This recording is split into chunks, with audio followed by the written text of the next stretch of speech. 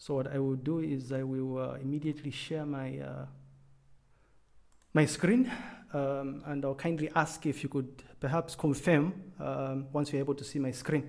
Just beamed up the presentation slide. Yes, uh, I can see it and it's in uh, presentation mode. Yes, uh, please proceed. All right, thank you very much. So I'll start then. Um, so so when, when, when I got the email with the list of, of topics, um, my, my immediate thinking was um, I, I, wanted to, to pick a topic that would enable me to talk a bit more about um, the research projects that I have been busy with uh, these last uh, few years, at least since I joined the UNZA. Um, and so my talk is really going to be uh, centered around um, uh, works that we have done in, in, in, an attempt to discover insight from uh, scholarly research output uh, produced in higher education institutions. Um, and specifically the case here is the University of Zambia. Um, but before we start, I just wanted to mention from the outset that um, some of the things, some of the uh, works uh, that I'm going to talk about um, have been done in conjunction with uh, very talented uh, postgraduate students and final year undergraduate students. Uh, details of these students and the projects are actually available on the uh, um, Research Lab website, which I'm a founding member of. Um, so my, my talk is going to be split into two main parts, really. Um, I thought I would first of all contextualize um, what we term or classify as data-driven problem solving. It turns out that this is a major driving force behind uh, most of the works that we do, at least the work that is centered around uh, data mining uh, or data-driven problem solving. And then I will dive into part two where I will just focus on um, a particular case. Um, so I'll talk about a broad spectrum of uh, projects that we've been working towards in an attempt to um, try and understand this um, scholarly research landscape, at least insofar as Zambia is concerned. But what you notice is that uh, the vast majority of things I'll be talking about can be generalized, um, at least within the African context, uh, more specifically sub-Saharan Africa. Um, so I'll start with part one. Um, just wanted to mention uh, from the outset here that um, the major tool um, or at least the technique that we leverage in, in attempting to solve most of these problems I'm going to talk about um, is supervised machine learning. Um, you'll soon understand why once I start talking about the sort of data that we work with.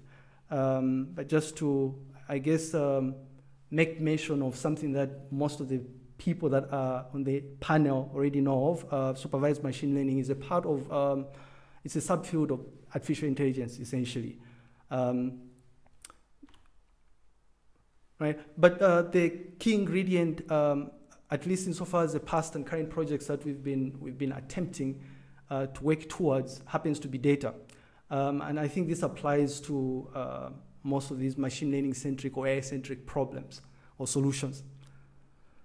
Um, before I, I, get to the stage where I start talking about the scholarly research landscape, um, just to mention that uh, this, this tool that we leverage, the techniques that we leverage have been applied to other projects uh, that I've been um, a part of. Uh, more recently, uh, beginning uh, last year, we've been attempting to try and figure out how best we can uh, build machine learning models that are aimed at uh, predicting student learning outcomes.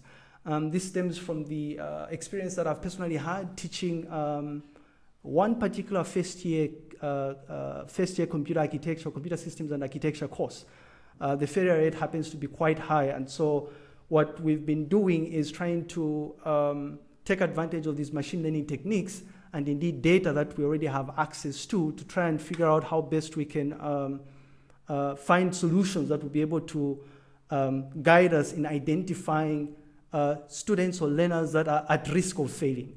Um, I should mention upfront here that this is a uh, a, a, core component of this particular project is being worked on by a group of final year uh, undergraduate students. Um, they'll be presenting their work uh, towards the end of November.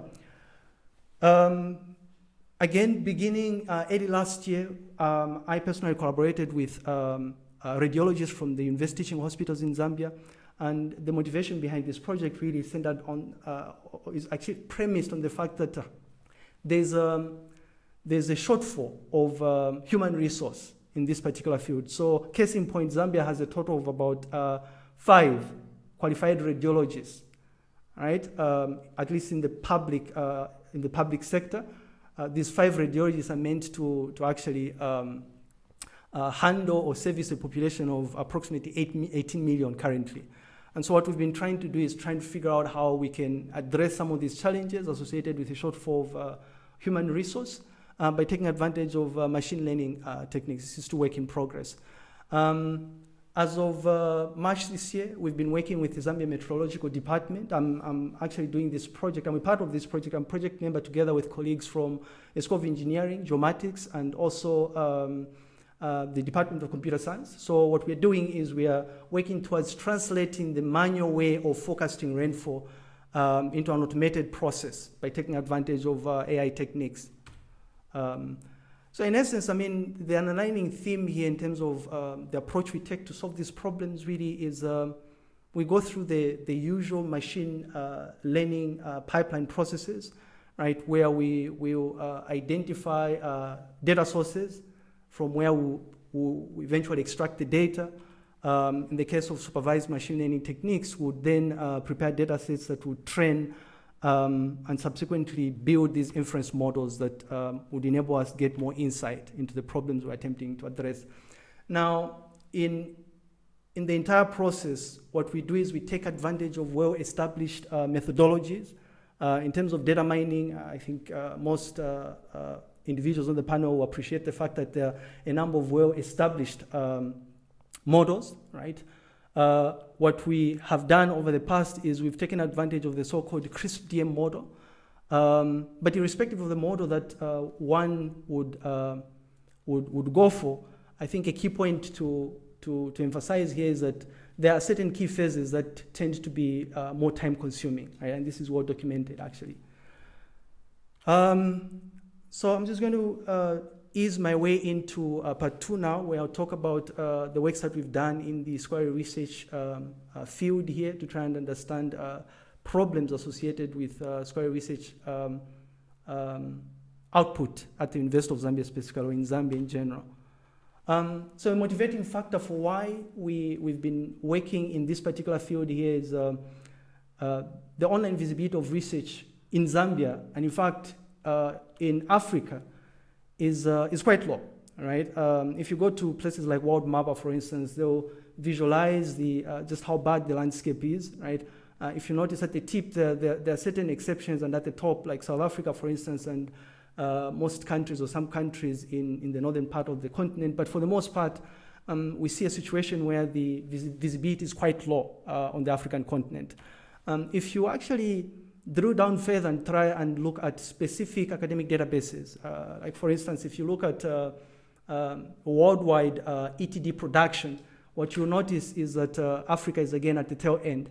And if you drill down into Africa, you see a situation where um, countries that stand out, uh, uh, countries such as South Africa and, and, a few other countries in the northern part of the, um, of the African continent. And the question to ask here is, we are churning out postgraduate students um, all across Africa. Uh, Zambia, uh, for instance, has a total of, uh, you won't believe this, but a total of about 72, I believe, or is it 62 higher education institutions. Now, not all of them will produce postgraduate students, uh, but a good number of them will, especially um, uh, public higher education institutions. So the question is, where is this research that is produced by master's students and uh, PhD students? Sorry, I'm just going to pause to ask if you can still hear me, just in case the connection is fine. You are loud and clear. Okay, thank you very much. Um, um, and, and really, we, the other motivation here is uh, we want a sense of pride, right? Uh, nobody likes uh, this gory picture that is painted when you start looking at uh, academic rankings, for instance. Um, most Zambian uh, edu higher education institutions are usually at the tail end, right? We're in the thousands here on the world uh, stage. Um, but besides that, um, we are of the view that uh, publicly generated research should be accessible by the wider public, and especially uh, by policymakers. Um, it turns out that, uh, at least for the case of Zambia, there's a great deal of research that is produced um, that actually feeds into uh, policy direction. Um, uh, so in terms of the data sources, um, I, I, thought I, I, got a screenshot of uh, the institutional repository for NUST just to try and contextualize uh, where exactly we extract this information. Um, but what we do, what we've done in all of these projects that I'm going to talk about is we extract information from infrastructure that we already have in place. Um, top on the list is our institutional repository, which is, um, I guess, a single source of truth that is used to make available research that is uh, published by the University of Zambia. But also, besides that, we have other platforms that are increasingly being set up. So we have uh, an OJS platform, which is used to actually make available um, a number of uh, journals or electronic journals that are overseen by the University of Zambia. And incidentally, I happen to be uh, the technical lead uh, um, in terms of uh, providing advice on how to handle OJS. Um, so we, we, we fundamentally have been working with textual data or, um, or textual content. Um, and what we do is we, we use these data sources to harvest um, both the bit streams, so this would be like the PDF documents that have the actual content, but more importantly, also the um, uh, descriptive information about the query um, uh, or about the bit streams themselves. So things like uh, uh, authors and, and, and, the titles associated with publications. These are usually um, uh, textual details that are imputed by either authors of the articles or perhaps a library. Um, so just a few screenshots showcasing the sort of information that we've extracted in the uh, broad spectrum of uh, projects that we've worked towards. Um, so just showcasing the sort of information we're extracting from the bitstreams or the PDF documents. Um, and then an example of uh, Dublin core encoded descriptive metadata that we extract actually to build these inference models. Um, uh, again, just showcasing uh, the metadata here, we incidentally take advantage of the so-called OAI-PMH and the OAI ORE protocols to harvest the descriptive information. These are standardized protocols that um, are available via OJS and uh, most uh, uh, institutional repositories. Um, and then, of course, I mean, before we implement the model, we, we, we, we go through the usual um, uh, transformation process, where because we're working with textual data here, we typically uh, transform the uh, textual content into either TF um, or representation or TF-IDF representation. Um, this is obviously informed by um, experimental, um, experimental results that we, we, we, we get once we are evaluating the models. Um, in terms of the results that we've gotten, I mean, early on in the process, we went through a process, we went through a, a process where we quantified the relative online visibility of research. Uh, it's quite low. Details are available in uh, this publication from 2018. Um, uh, but we see a situation where really the online visibility is extremely low, depressingly low actually. Um, even though the University of Zambia happens to be better than the rest of the institutions, we can literally do better. Besides that, one of the things we've noticed is that, uh, at least in terms of the descriptive metadata, there appears to be issues associated with uh, the correctness and the comprehensiveness of the data itself.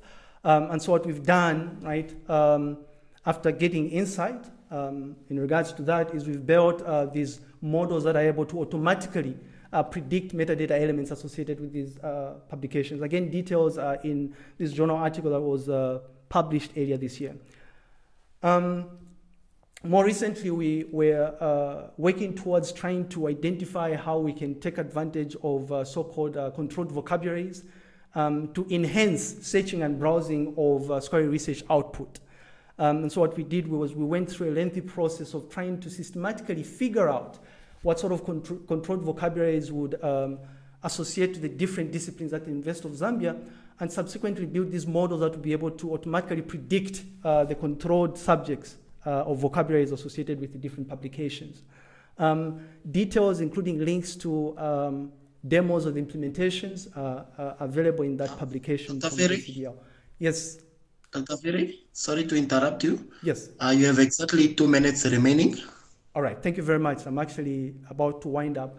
Beyond, um, so beyond uh, building these inference models and drawing insights, we feel that um, we, should, we should at least try and prescribe potential solutions to these problems.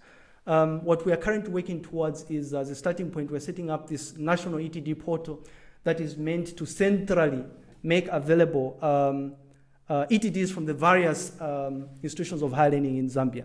Uh, and of course, this will feed into the different inference models that we've been building or implementing. Um, thank you very much. That is uh, what I had in terms of my presentation.